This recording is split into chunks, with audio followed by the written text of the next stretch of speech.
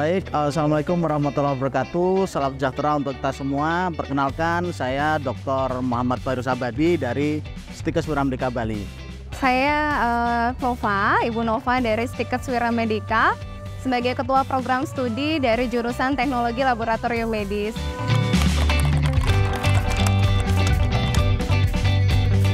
Sebelum menggunakan fasilitas sistem informasi dari e-kampus, eh, kampus kami sangat kerepotan ya dalam rangka untuk mengelola data akademik, khususnya terkait dengan pelaporan kepada eh, Dikti ya terkait dengan eh, berbagai hal, di antaranya nilai dan kemudian eh, mahasiswa eh, dan banyak perangkat lain gitu ya, sehingga kita pernah mendapatkan teguran ya dari Dikti selama uh, dua kali dari LL Dikti karena ketidakrapian dari data-data uh, akademik kami.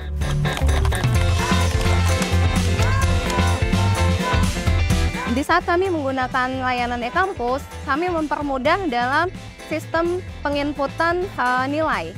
Uh, kemudian kami juga dipermudah dari sisi uh, mengupload tugas-tugas mahasiswa, kemudian juga kami dipermudah dalam hal untuk uh, mengupload materi kami.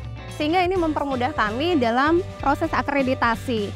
Nah, di situ kami seluruh data kami itu sebagai big data kami di program studi, seluruhnya kami sangat mempermudah kami dalam memperoleh data-data dari kegiatan pembelajaran kami.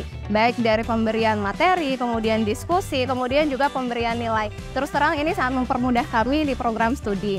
Alhamdulillah ya, uh, prosesnya begitu gampang dan mudah gitu ya, uh, sehingga indikator-indikator uh, perubahan itu sudah mulai nampak dan dalam dua tahun terakhir kami di Setia Suramdika Bali meraih penghargaan dari LL Wikti wilayah 8 sebagai kampus dengan pelaporan terbaik dan tercepat untuk PD Dikti.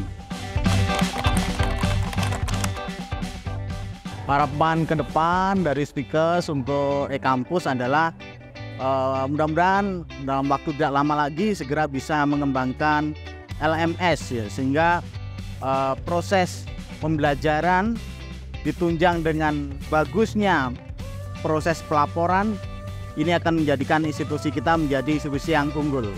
Sekian dari saya. Assalamualaikum warahmatullahi wabarakatuh. Salam sejahtera untuk kita semua. Oh.